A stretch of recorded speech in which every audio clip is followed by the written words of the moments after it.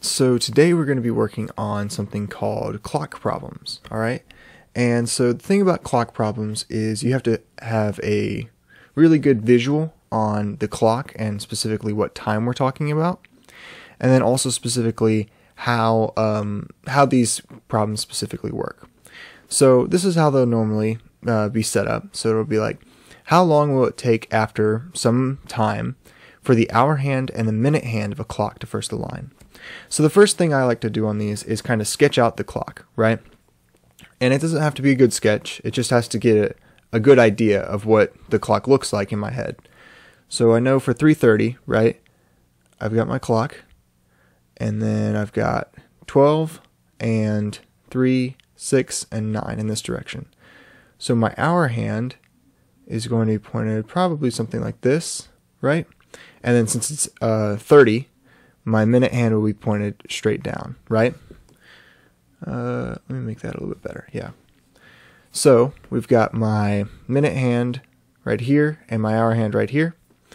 And so what's going to happen is that my minute hand actually moves faster than my hour hand, right? Obviously. So this minute hand will travel all the way around back to this hour hand. That's what that's what we're wanting to know, right? How long until that minute hand catches up to that hour hand, right?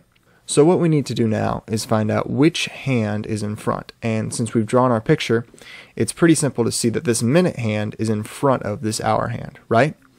So it turns out that depending on which hand is in front, we actually do a different calculation. So um, for this hand, for this calculation, we're going to want to do the following, um, the following calculation. All right, so uh, I'm going to just call this the min calculation because it's for the min if it's in front, right?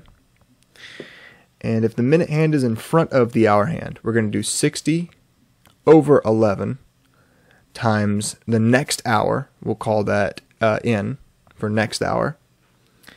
And then add the time until the next hour. So add, we'll call this uh, t, right? In this case, it'll be 60 over 11 times 4 plus 30, right? So let's go over to our calculator and go 60 over 11 times 4 plus 30. And this should be how long it will take for the uh, minute hand to run all the way around and get to the hour hand. So we hit enter, and our answer is 51.8. So our answer right here is 51.8. And that is our answer to this question. All right, so this question is very similar to the last question we did. Instead of it being 330, it's 322. And in fact, we can just use the same methodology, same equation, and do the same thing, except instead of using 330, we're going to be using 332. Sorry, 322. So again, what we're going to want to do first is draw our clock, right? And it's going to look something a little bit like this, right? With our 3 hour hand and then our 22 minute minute hand pointing something like that, right? All we know that is our minute hand is in front of our hour hand, right? So we're going to use our minute equation. So this is for a minute again. And it is 60 over 11 times next hour plus time till next hour, or t. So in this case, all it is is 60 over 11 times 4 plus the time till next hour, which should be 38 because there's 60 minutes in an hour. 22 uh, subtracted from 60 is 38. So 60 over 11 times 4 next hour plus 38 is equivalent to 59.8. So our answer is 59.8. And there we go. That's our answer. All right. So for this question, it says it is 425 on my clock.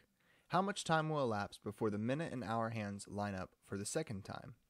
All right, so let's draw our clock. Oh, sorry. Let's draw our clock. And then so we've got 4 pointing to about there or so. Actually, sorry, it's an hour hand, so it'll be shorter. 4 pointing to about there or so. And then 25 pointing, uh, well, 5, 10, 15, 25. So 425 will be pointing something like that, right? Or maybe a little bit closer to uh, something like that. So uh, we've got our minute hand and we've got our hour hand. So what's what's going to happen in this? This is how much time will elapse before the minute and hour hands line up for the second time. So this um, minute hand is going to run all the way around and then meet back up with that hour hand to where they're touching, right?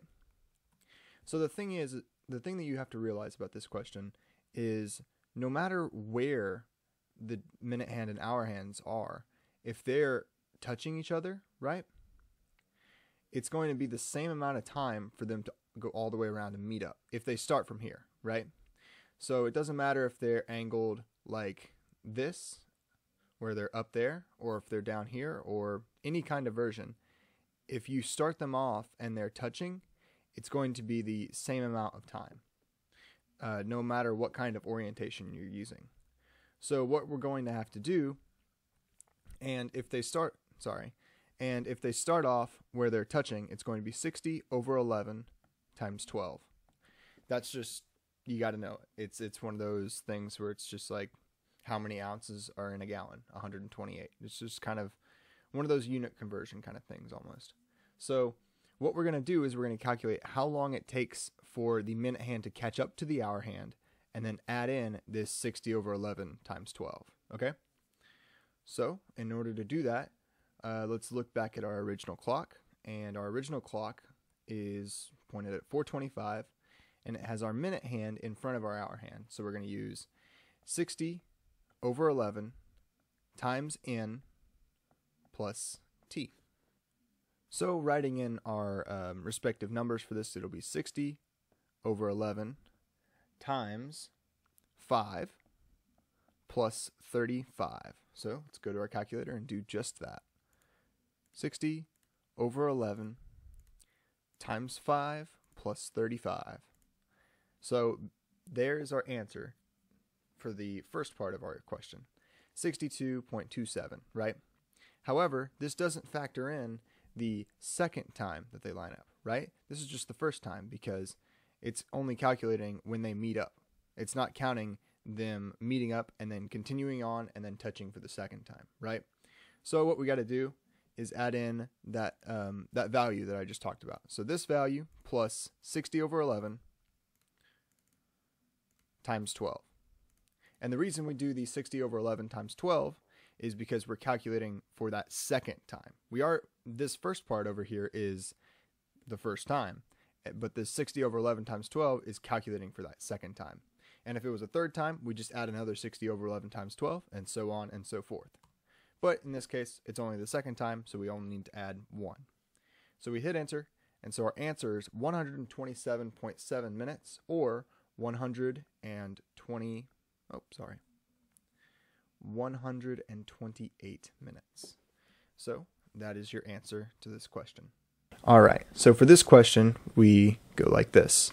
A clock face reads 910. How long will it take the minute hand to align with the hour hand? Nothing special with this one, let's just draw our clock.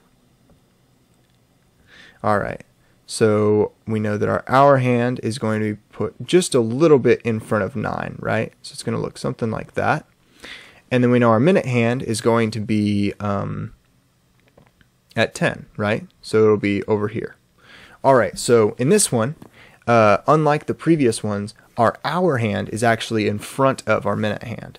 And the way you can think of this is um, the minute hand and the hour hand are always in a race, right?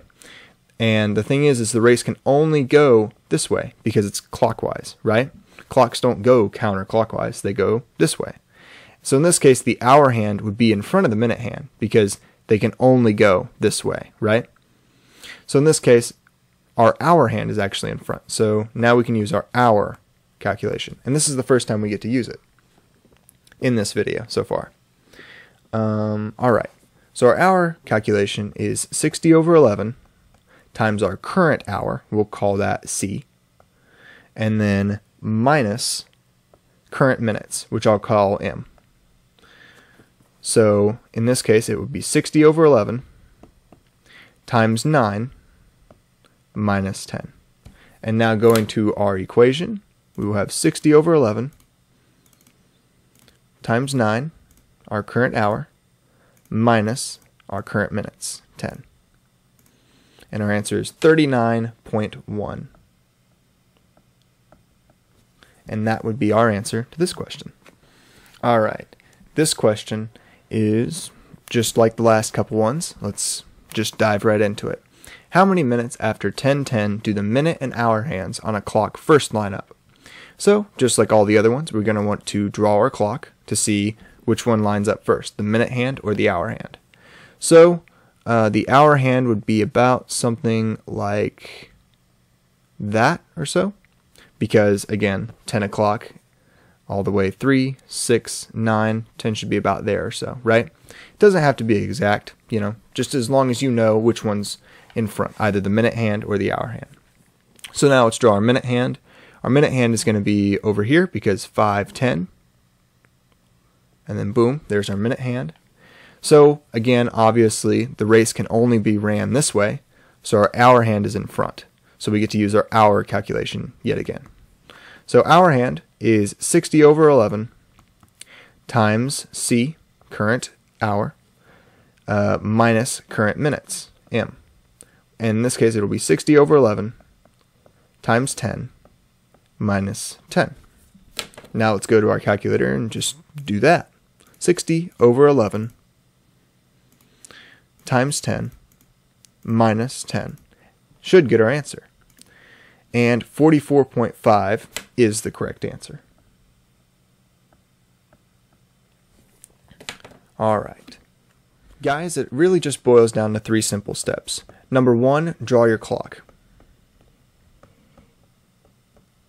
And it doesn't have to be an exact clock. You just have to know 3, 6, 9 and get a general idea and be able to define where your hands are.